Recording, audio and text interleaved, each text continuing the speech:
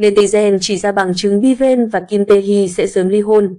Những thông tin về việc Biven ngoại tình với một tay góp lờ sinh năm 1996 đang khiến cộng đồng mạng xôn xao dự đoán về cuộc ly hôn của họ trong tương lai. Nóng nhất mạng xã hội thời điểm hiện tại là tin đồn, ông chồng quốc dân Biven ngoại tình với một tay góp lờ sinh năm 1996.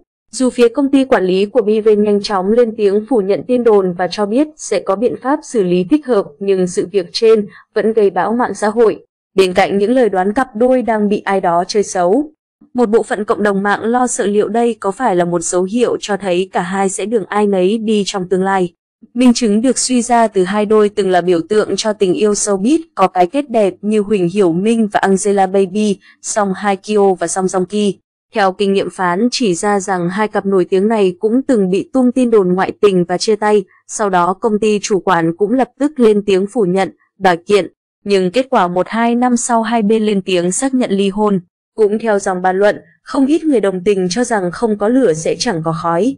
Vì là nghệ sĩ có sức ảnh hưởng lớn, dĩ nhiên nếu có công bố ly hôn thì cũng phải đợi thời điểm thích hợp chứ không chỉ vì một tin đồn mà lập tức xác nhận được. Tuy nhiên, ý kiến trên lập tức bị cộng đồng phán chỉ trích dữ dội.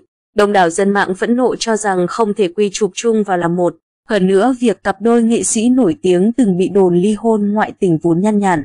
Ví dụ điển hình nhất là cặp đôi vàng của Cbiz là Ngô Kỳ Long và Lưu Thi Thi quanh năm bị đồn ly dị, nhưng họ vẫn đang vô cùng hạnh phúc với mái ấm của mình. Ngoài ra, phần lớn phán đều quyết tâm tin tưởng vào tình yêu và tổ ấm hạnh phúc của Biren và Kim Tae-hee.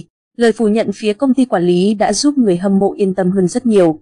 Hy vọng những cộng đồng mạng bớt xuyên tạc, khẩu nghiệp, tránh ảnh hưởng đến hoạt động sự nghiệp của cặp đôi trong tương lai. Được biết, hiện nay Biren, Kim Tae-hee đang sống hạnh phúc với hai cô công chúa.